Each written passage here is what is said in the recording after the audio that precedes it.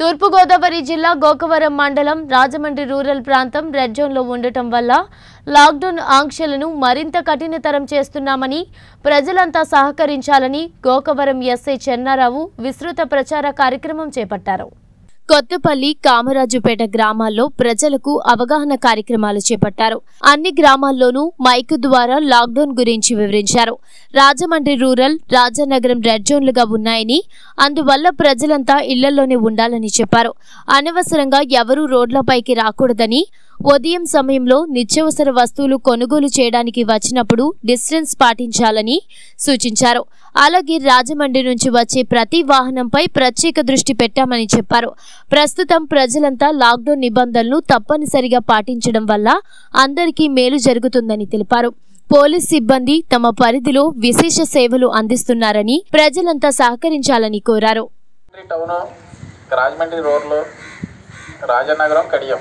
ఈ నాలుగు మండలాన్ని రెడ్ జోన్గా ప్రకటించినందున ఈ గోకవరం ప్రజలందరూ కూడా ఎవరో కూడా రాజమహేంద్రవరం వెళ్ళడం నిషేధించడమైనది.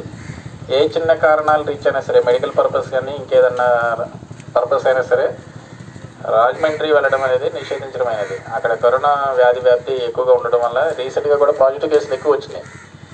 వీటి దృష్ట్యా రాజమండ్రి రెడ్ జోన్గా ప్రకటించినందున ఆ రెడ్ జోన్లో ఉన్నటువంటి ప్రజలు బయటికి రాకూడదు. అదేవిధంగా బయట ఉన్న ప్రజలు కూడా రెడ్ జోన్కి వెళ్ళకూడదు. మనకి నియర్ బై ఉంది రాజమండ్రి.